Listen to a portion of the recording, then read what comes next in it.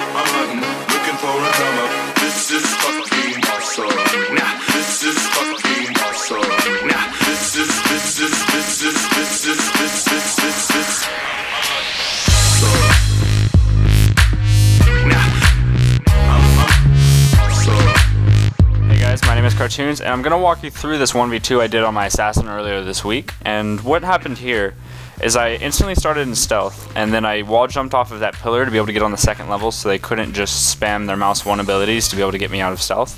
So now I'm on the top, and I, they're on the bottom level, and I'm working on getting to this pyromancer right here, which I open on with a stun, and then I hit three punctures, and as you can see, I'm line sliding with this little log there. And then I hit my Pantera's Kiss for some damage and run away with full health, stealth. And then I run backwards towards the other side, which they're running because they think that I, I kept going in the same direction. But I went backwards so they couldn't shoot me out. As you can see, the um, Pathfinder's trying to shoot me out just then. Uh, they're both running up, trying to find me right now. They're both like probably spamming their abilities, trying to find me. The Pyromancer goes up towards the right, and the Pathfinder goes down. So I go after the Pyromancer again, and I'm kind of giving him a second to see if he's going to pop a wall of flame. But uh, I get behind him right now, and I think he sees me, so I stun him, uh, puncture him again, and then I have I'm out of energy, so I have to hit my strikes, and then I'm just kind of finishing him off. Like I know he's pretty low, I can take some damage and some full health. It's not a big deal. Uh, I Shadow Shift him to be able to 1v1 him without the Pathfinder, and I kill him instantly. And I run out, uh, stealth back, and now I am exactly where I started. You know, I'm safe, and I'm ready to 1v1 this Pathfinder over here. Um, I'm pretty confident right now fighting this Pathfinder because I feel like with a full reel of energy, I'll be able to take a lot of his health away pretty quickly and just be able to shut him down. He is pretty smart in his positioning, though, for starting positioning. Uh, but he does kind of make a mistake. He runs to me a little bit, so I, I shadow leap onto him, stun him, and then I'm I'm back on him. I already popped three punctures and did a Pantera's Kiss for the damage. As you can see, he's about to take a chunk out of his life, and I'm stealth, but he gets a pinning shot off. So this kind of sucks for me. I can't get much damage off right now, but I'm using my blocks, trying to keep him away, but he gets an explosive trap on me again.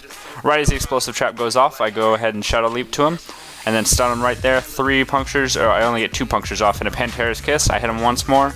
Uh, once more again, he jumps off. I know he's dead, so I kind of just resign. I stealth, and he's dead. And that does about sum up the uh, 1v2. But hey guys, I do want to let you know that the CEO of Dark Vale Games, as I told you in my last Assassin tutorial video at that, um, emailed me offering me a ton of keys to be able to give away for Forge to you guys for free.